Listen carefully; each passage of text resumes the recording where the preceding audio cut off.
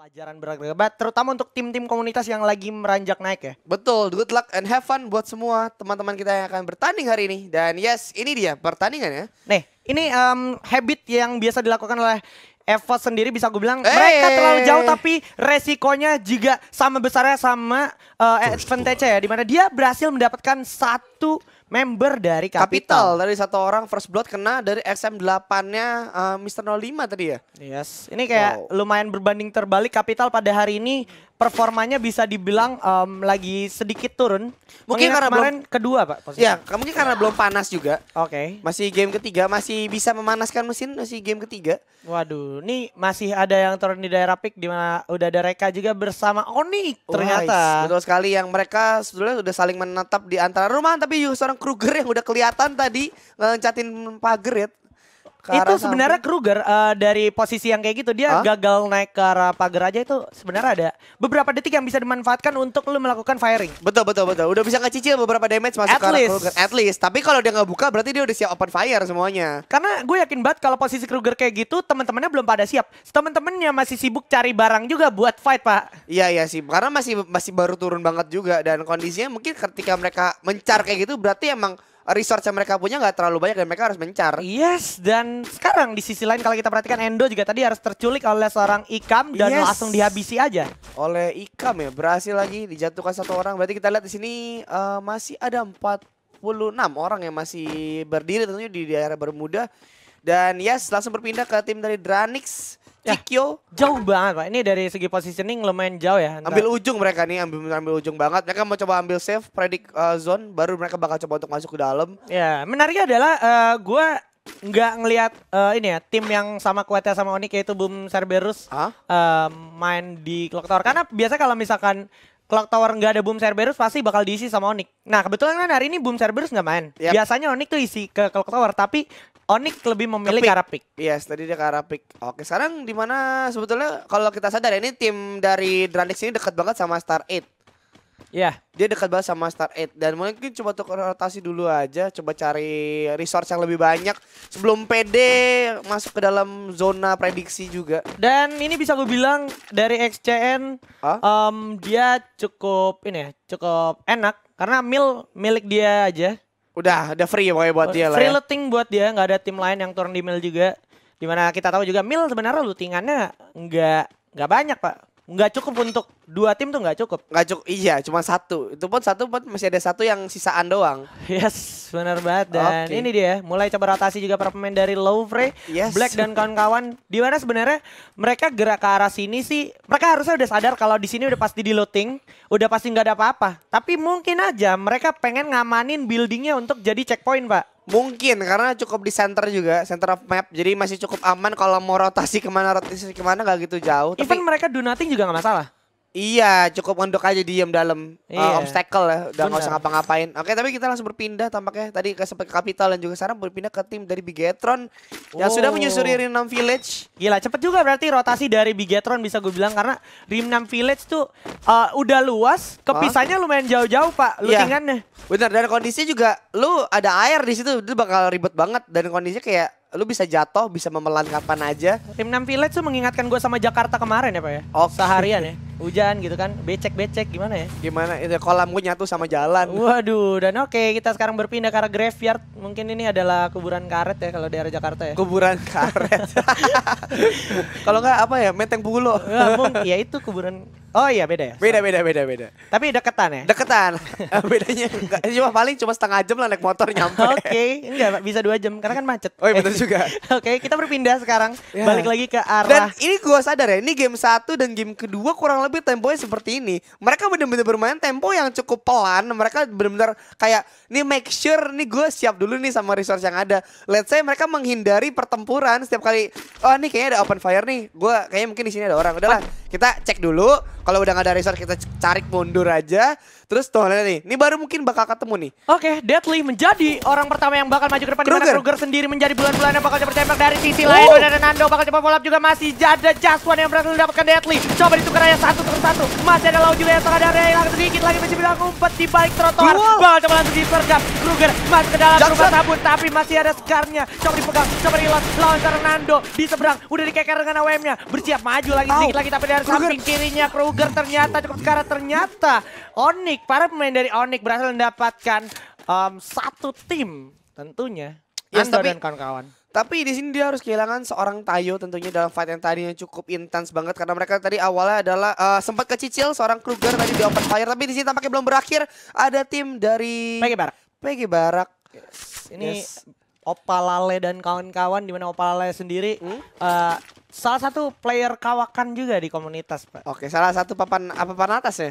Bisa dibilang gitu ya. Jadi emang mereka ini emang layak Pak ada di sini nih ya. Betul. Ini adalah apa yang mereka cari selama ini sih menurut gue. Yes, dan ini dia satu mereka bersinar harusnya gue berharap banget Time eh, to shine. Bisa, it's time to shine tentunya dan sekarang di sini tim Onyx yang tadi sudah sempat kena open fire Yes. dari adanya tim dari PG Barak ini dan juga ada UAV yang lewat di situ harusnya ada kelihatan titik-titik merah. Yes, bener banget. Tapi ada setelah tembakan juga ke arah Onyx tadi kalau gue perhatikan di mana Onyx juga sekarang menarik dirinya Glue agar wall. tidak bertemu dengan PG Barak dan juga kalau gue nggak salah lihat tadi information eh, eliminasi itu Bigatron nyaris mengatakan para pemain dari tim NXL. Hampir. Satu orang lagi dari NXL tumbang itu udah di N for NXL untuk ronde kali ini. Oke, dan langsung aja kita langsung berfokus kepada tim dari PG Barak yang tentunya masih That's eh, it. gregetan. That's Oke. it. NXL juga tumbang. Oke, Deadpool tadi berhasil nutup ya satu pemain dari NXL dan menjadi tim ke-11 yang harus kembali ke lobby tampaknya. Benar banget. Ini eh, Kruger juga harus kehilangan tayonya. Ya, tayonya. Tapi tenang aja masih ada tiga pemain Onyx yang bisa dibilang gua gimana ya? Gua ngeliat tuh mereka tuh udah udah bukan manusia kali ya. Ya, karena lu harus ingat semboyan di atas langit masih ada Onyx ya. Mungkin inilah Oh, yang iya. terjadi.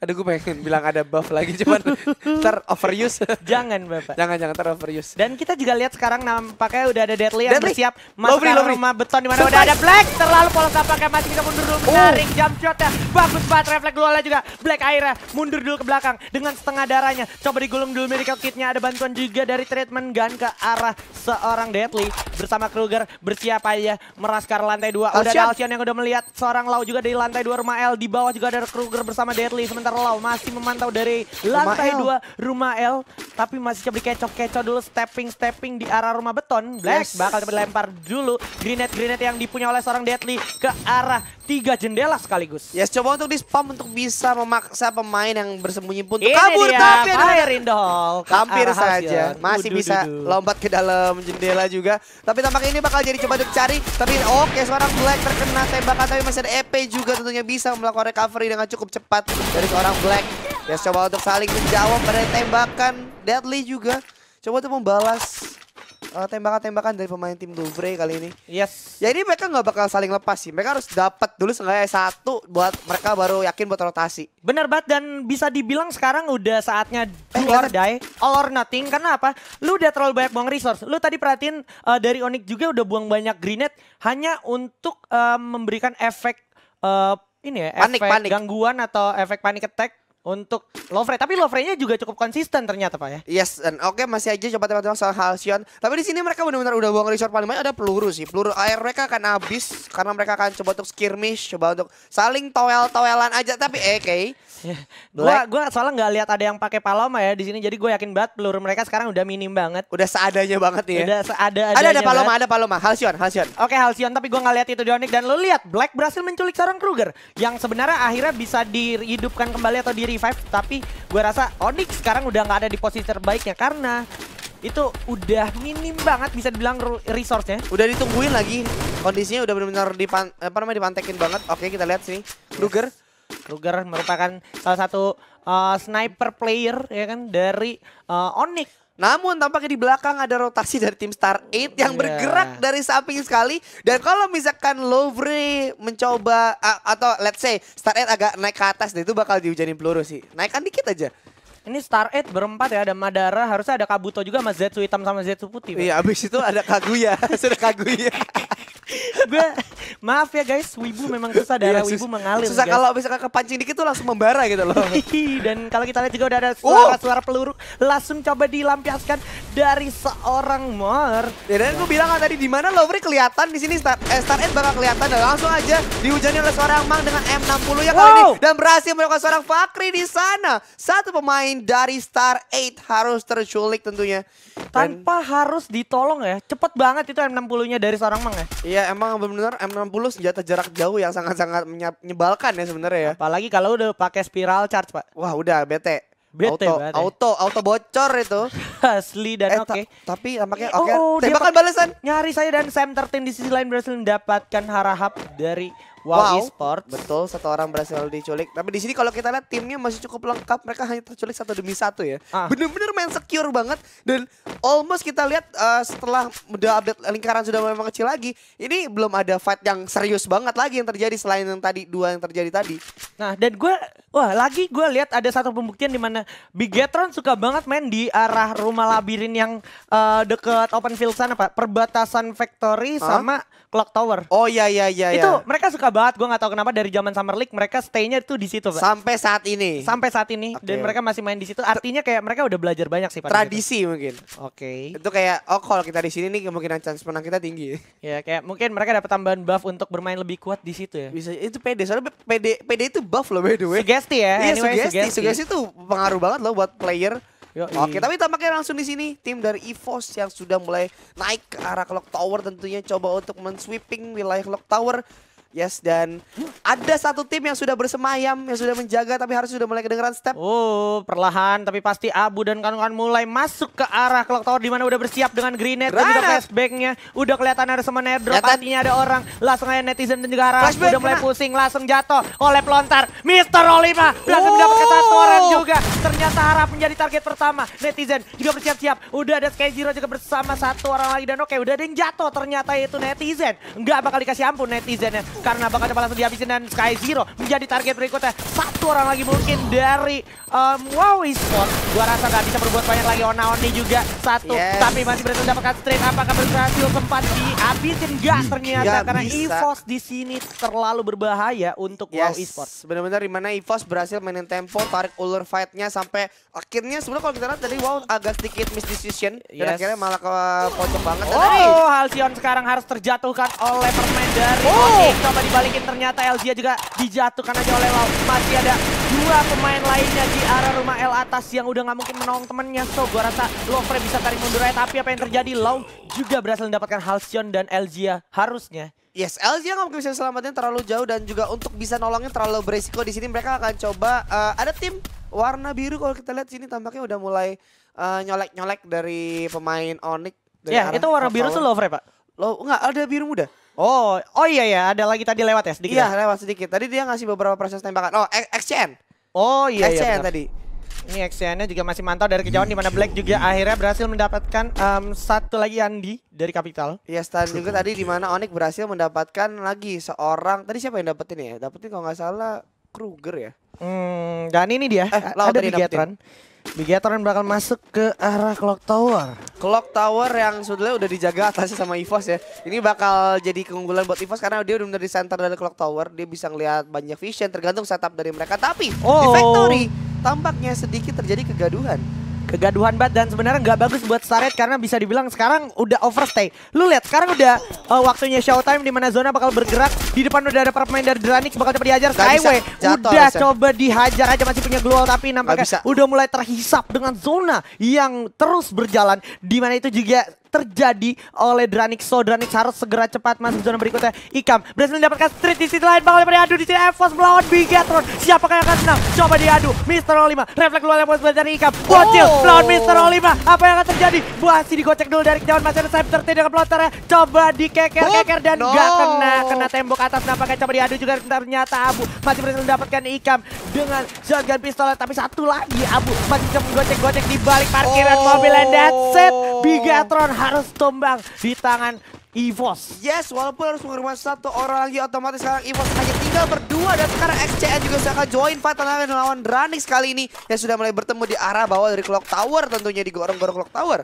Abed berhasil menculik seorang Everyday dan gua rasa Everyday masih sangat sulit untuk ditolong. Ya, ini Dan bakal terlalu jauh sih dan ya Dranix gak akan coba ngamanin ke arah atas juga untuk bisa secure uh, tempat Oh. elemen everyday. Oh, oh, oh, oh, masih bisa ketolong. Oh, Bisa. it's good for Dranix tapi di saat yang sama dia Ada cepat karena udah ada tembakan juga dari tempat lain. Ya, tapi di belakang sana udah ada XCN harusnya udah mulai ngelihat adanya dari everyday eh Muharta juga everyday di atas. Ya. Tapi yes, not the fire juga masih digorong-gorong yang ketutupan ternyata. Dan gue suka banget posisi dari Evos di sini di mana dia sadar dia nggak mungkin dapetin uh, XCN akhirnya dia masuk ke zona berikutnya aja yang ternyata masih bersinggungan sama posisi dia tadi fight pak. Yes, jadi mereka tinggal nyambut aja siapa pun yang mau datang seenggaknya. Tinggal kalau nggak nungguin sampai mereka fight abis itu ketika mereka udah tahu uh, kedua lawannya udah sekarat mereka baru masuk. Oke dan udah langsung masuk ke Abed, arah showtime, Abed. di mana udah ada Abed yang sebenarnya sulit banget untuk masuk ke zona berikutnya. Udah ada Muarto juga berhasil mendapatkan Black dan juga Rez juga di sana Rezier. Muarto juga masih bersiap masuk ke zona-zona di mana masih ada di pantauan seorang Jody juga di sini Abed.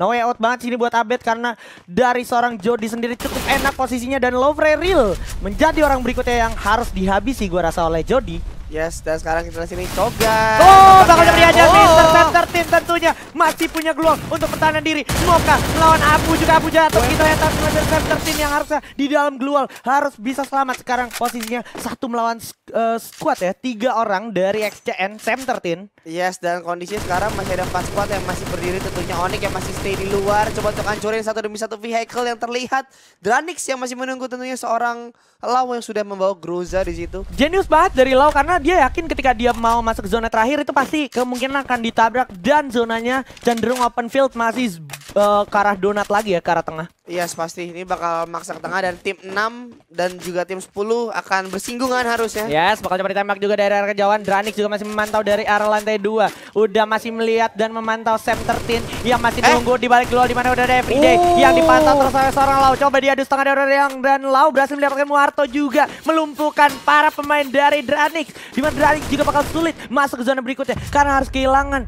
dua knockdown dari teman-temannya. Yes, dan sini Lau akan coba untuk observe kalau kita lihat dengan bawa kaleng biru coba mendekat tapi tampaknya seorang member bisa 13. Cogan juga di sana. Kuat tentunya dalam rumah kita lihat 13. 13 berhasil mendapatkan XCN Dom di sana tapi fight belum berakhir karena Dranix join fight di sana dan Muharto terjatuh oleh seorang Lau di sana. Everyday juga oleh seorang Kruger dengan skarnya di sana berhasil dijatuhkan. Namun Wow. oh my god dan tampaknya Onyx tersisa kali ini dengan Yes. adanya XCN Ya, Cogan juga udah jatuh harus termakan oleh zona tersisa Moka kali ini.